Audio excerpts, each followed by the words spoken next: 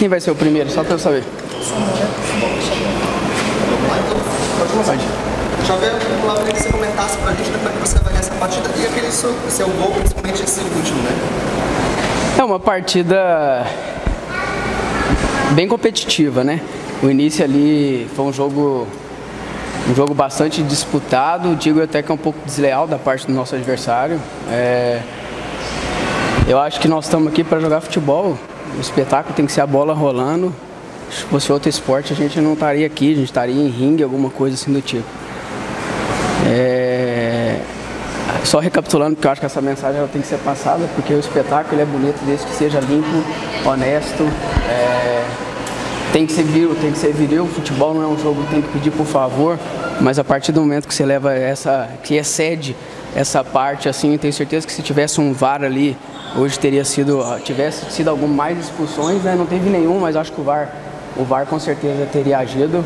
Mas acho que fica de lição é o resultado final da partida. Fica de lição enaltecer quem de fato não vamos dar foco. Ei, João! Ei, vai gostar aí? Então, assim, voltando, eu acho que eu vim só falar isso porque o certo não, veria, não, não, não é, é inflamar isso, mas eu, eu, fecho mostrando que o futebol ele é jogado dentro de campo, o espetáculo ele tem que ser um espetáculo limpo, um espetáculo para quem vem assistir possa desfrutar, é, fazer valer a pena o, investimento que cada um, a gente sabe que não é, não é barato vir para assistir um jogo hoje aqui em dia.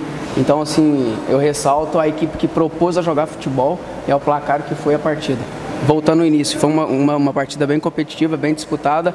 Nós disputamos de forma leal e jogamos futebol. E feliz é, por ter saído com a vitória de 3 a 0 feliz pela primeira colação e mais feliz ainda pelo meu gol. É, vinha me cobrando bastante, tinha feito um gol no Campeonato Amazonense ano passado. Muito contente com o meu segundo gol com essa camisa, contente pela nossa classificação, a gente continua evoluindo aí durante a competição. O ano passado, Xavier, tu colecionou alguns troféus também de, de craque do jogo, caboclo do jogo, né? Esse ano já começou aí marcando de falta e voltando também, vai voltar a colecionar esses troféus aí novamente? Ah, tomara, tomara. Esse acho que é o, é o grande objetivo, né? Primeiro é o objetivo do grupo, primeiro do, do clube. Ninguém é maior que a sua instituição, independente de quem aqui esteja.